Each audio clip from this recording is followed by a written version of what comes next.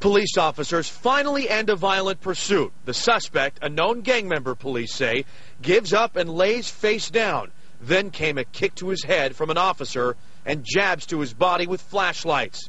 Now an internal investigation has been launched to find out why he was kicked. El Monte's police chief says